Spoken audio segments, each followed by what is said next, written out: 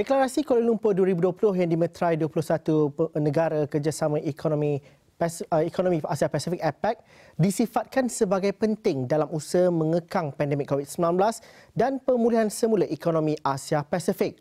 Pensyarah kanan Pusat Pengajian Antarabangsa Universiti Utara Malaysia UUM Profesor Dr. Muhammad Fuad Osman berkata, deklarasi tersebut akan menjadi penunjuk jalan kepada semua usaha ekonomi APEC dalam memacu pemulihan akibat krisis kesihatan awam.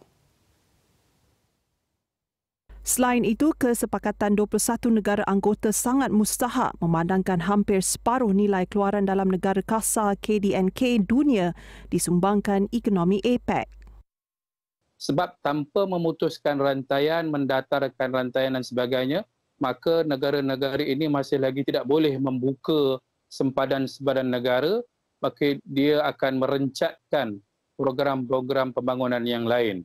Yang keduanya, saya kira deklarasi Kuala Lumpur ini juga telah menunjukkan pri pentingnya bagaimana negara-negara APEC membina kembali ekonomi yang telah uh, terkesan teruk. Eh.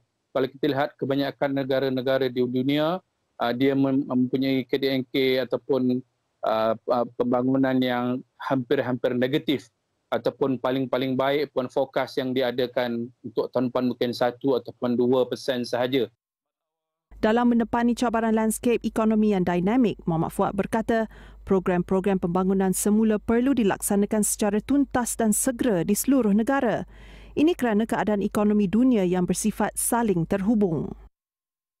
Maka sekiranya satu atau dua negara sahaja yang kembali kepada keadaan normal sebelum COVID tapi negara-negara lain masih lagi mempunyai masalah maka saya kira ekonomi dan uh, aktiviti-aktiviti kewangan tidak dapat dilaksanakan dengan lebih tuntas.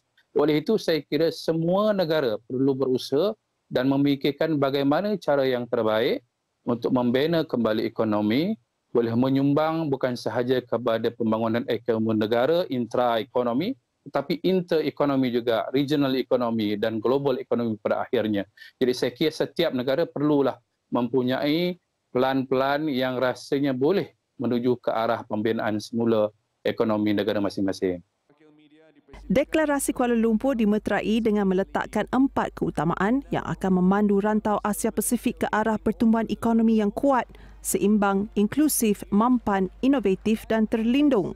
Empat keutamaan tersebut adalah memerangi dan mengurangkan impak COVID-19, menambah baik naratif perdagangan dan pelaburan, penyertaan ekonomi yang inklusif melalui ekonomi digital dan teknologi serta memacu kemampanan inovatif.